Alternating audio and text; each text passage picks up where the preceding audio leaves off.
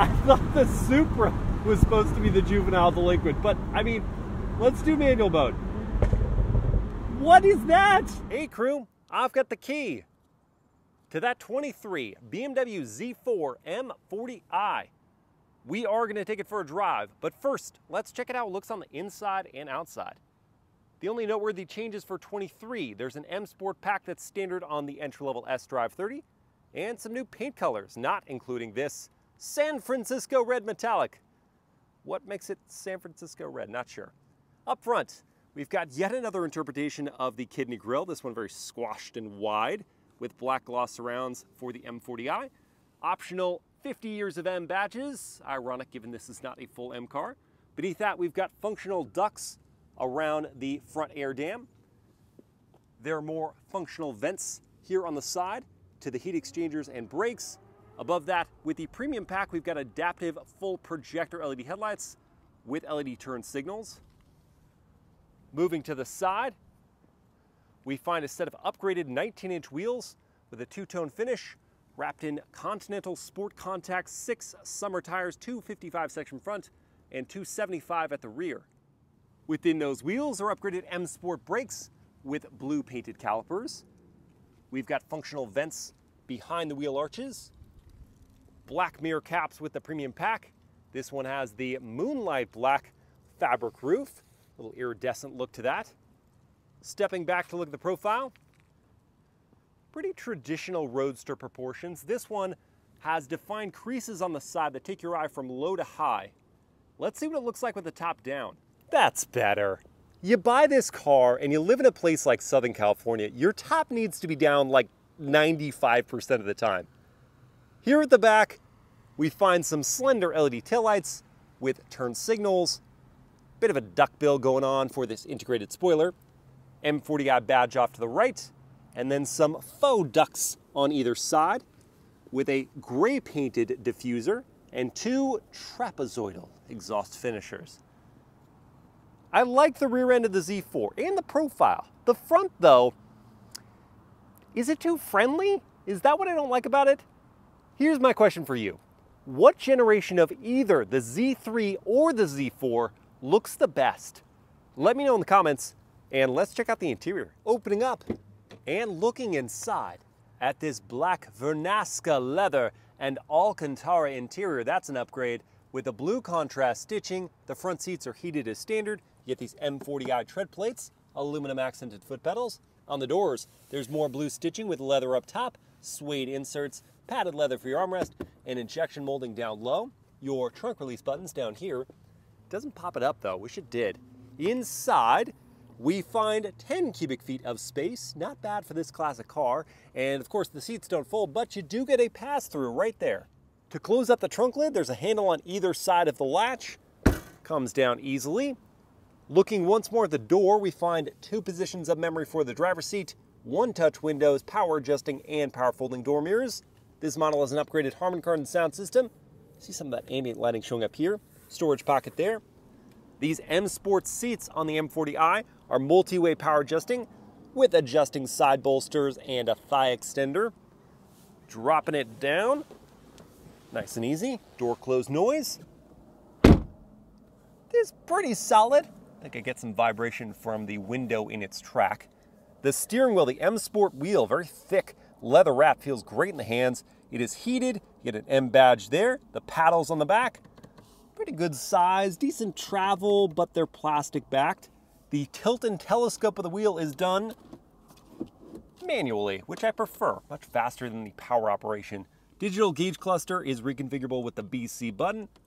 There's a head-up display, stitched leather up on the dashboard. Here's a 10.25 inch touchscreen infotainment system. The last generation of iDrive, still responsive and has wireless Apple CarPlay and Android Auto. Beneath the screen is a dual zone climate setup with physical buttons. Below that are more physical buttons for immediate stuff.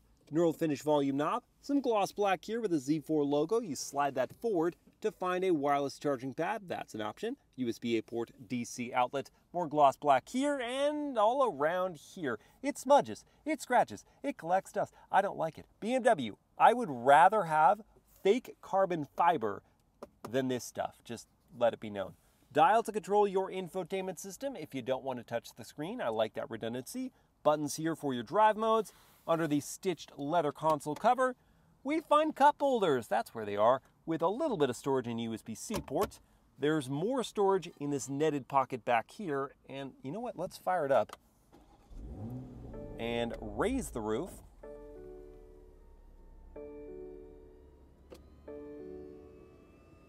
Which is almost as fast as it went down. Windows coming. Okay, let's look at visibility. Good, good, good. That's a pretty big blind spot there. And you don't get standard blind spot monitoring, though it's available. The view at the back is good. My headroom at six feet tall is excellent. Got plenty of clearance there. That's the thumbs up from me. And the cabin overall, yes, it's not as tech heavy and, and flashy as the new BMW models, but I kind of prefer this. Everything is very intuitive. The fit and finish is solid. I'm into this cabin. Let's take the Z4 M40i for a drive now.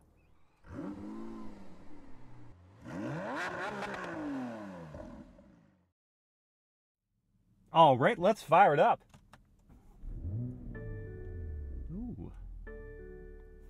Excited little burbles on startup. And hello, crew, from the cabin camera. You know the first thing we have to do in this convertible is to lower the top. So let's do that. Press down here.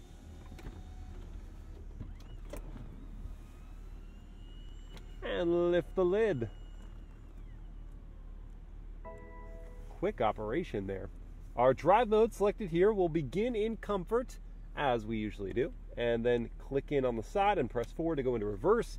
That brings up a high resolution backup camera, and we do have a backup assist feature that I can activate here, which will back us up along the same path we used to get in. Very handy and then in and down to drive, and away. We, look at all those beautiful Aston Martins. And away we go. You know, we're going to kick things off with the world famous horn test. So let's do that. Yikes. Very sharp, sharp note there. And the turn signal sound.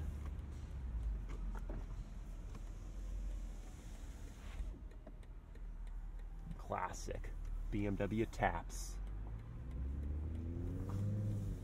Powertrain. In the Z4 M40i, we don't have the 2 liter turbocharged four cylinder that you get in the S Drive 30. We have the B58 turbocharged inline six cylinder that is shared with a few other BMW models, including the M340i. It makes 382 horsepower and 369 pound feet of torque, routed through a ZF 8 speed automatic gearbox exclusively and sending power to just the rear tires. There is no all-wheel drive version of the Z4. Now, I feel it prudent to address the elephant in the room, which is that the Z4 is not an only child. It shares its platform and powertrains with the Toyota Supra. Unfortunately for the Z4, it is only left with the 8-speed ZF automatic. You cannot get it with the manual transmission that BMW gave to Toyota and then they fine tuned and made it their own. And that's unfortunate to me because while this ZF8 speed is a fantastic gearbox, gearbox, it's velvety smooth getting around town, and then when you're getting on it with performance, it responds super well. I wish you had the choice to have the six-speed manual from that Supra because if you, for whatever reason, don't like how the Supra looks, you didn't want a coupe, you wanted a convertible, but you still want the engagement factor, you can't have it with the manual. And that's just, it's such a letdown because that's such a great gearbox and I know it would pair well, it has paired well with the Supra platform and engines, which are what we have here in the Z4. Thankfully, as I said, it is a good transmission and in comfort drive mode, the throttle response is very progressive, but there's ample power to get you up to speed. These seats stood out, to, stood out to me right away as being incredibly comfortable. They just hug my body perfectly. You can adjust those side bolsters, find an excellent driving position for yourself. and cruise with the wind rustling in your baseball cap. Let's test out the turning radius. Solid.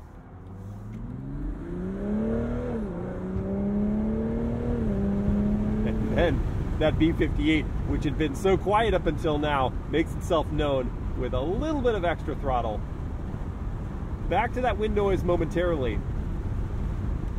It is rustling the hair and it's creating some turbulent wind noise around the top of my head. That air curtain back here is helping quell some of it.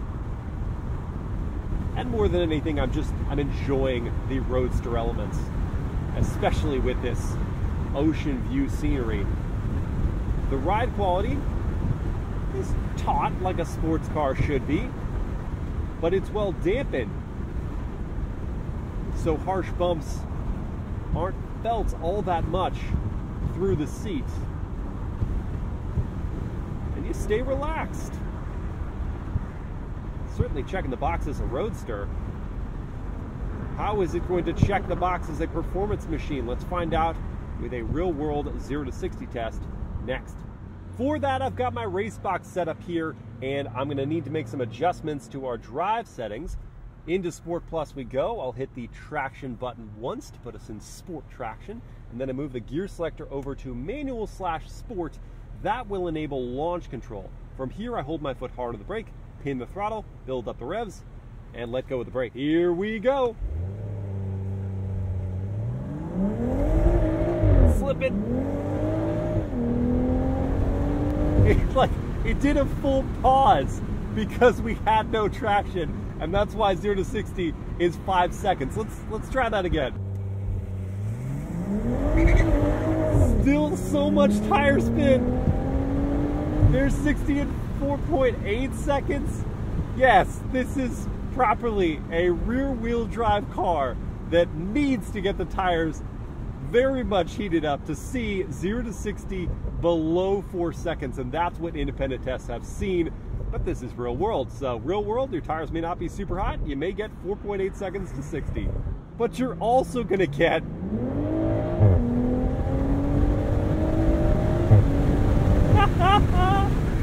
some laugh out loud noises from this inline six cylinder. What in the world? Heard all the better with the top down. Listen to that overrun. So angry.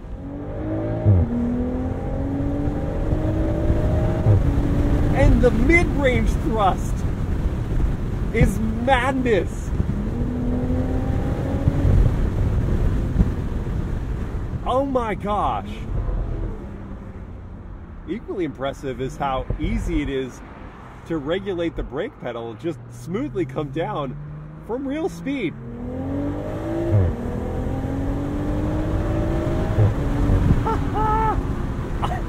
I, thought the Supra was supposed to be the juvenile delinquent, but I mean, let's do manual mode. What is that?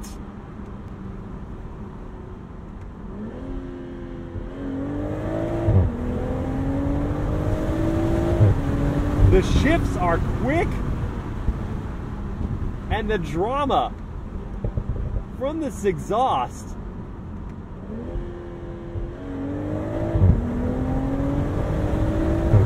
is magnificent. I did not expect this from the Z4. I thought this was supposed to be the mature, grown-up choice. But that doesn't sound grown up at all. That sounds big kid approved. Now the Z4 M40i has yet to strut its stuff through a curb, but thankfully I know of one. So we're going to use this up here for a braking and handling test. Going to carry some speed. RS e-tron me here, but hard on those brakes. Good response. Enters neutrally.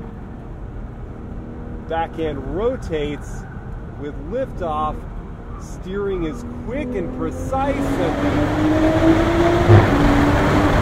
And listen to that. And the limited slip differential divvied up the power and slingshotted us out at the end there. Let's go for round two here.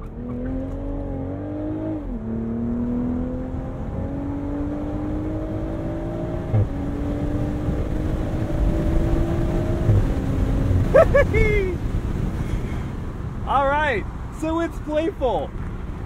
It's way more playful than I thought it would be. It behaves with neutrality, it communicates with the body. There's just that little bit of roll, little bit of lean that you would expect of a roadster. It doesn't have the same structural integrity as a coupe.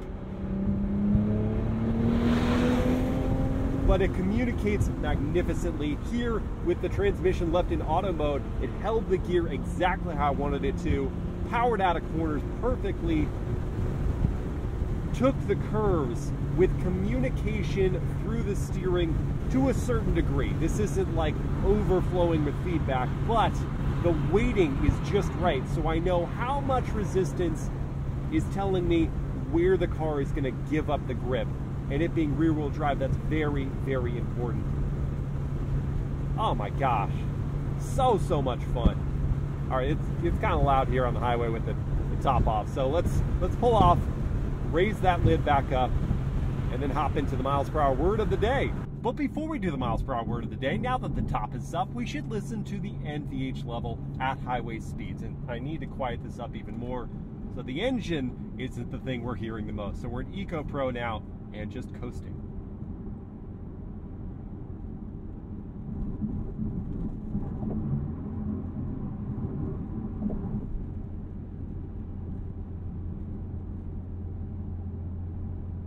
All right, so there's some wind noise here as you'd expect with a fabric roof, but not bad at all. And the tire noise is mellow.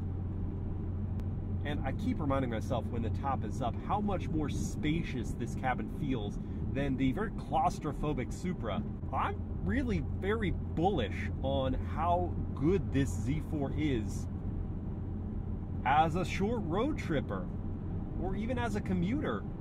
You don't feel like you're having to wear this car like you do the Supra. You can kind of just move around and feel relaxed in these comfy seats. The only thing that isn't great about being in here with the top up is is that blind spot once again. So you're really having to rely on those cameras because you can't see things around your left or right shoulder with the naked eye. All right, word of the day for this 23 Z4 M40i is deceptive because you look at this vehicle and I size up a lot of Z4s, not just based on the driver, but just I look at it and go, all right, that's not really going to be that impressive. But from behind the wheel, this is very much a different animal. So deceptive means to give a false impression or to be misleading. And that's precisely what this vehicle can do, especially in this M40i, guys, because it is a proper performance car. It is a proper sports car that just gives off this somewhat feeble or unassuming impression so that people might be convinced they can go and bully it around on the road and then it shows what it can do and just embarrasses them. All right, before we talk pricing and competition, let's go over the top speed and fuel economy. Top speed for the M50i is 165 miles per hour, while fuel economy is 23 mpg in the city, 31 on the highway, and 26 combined.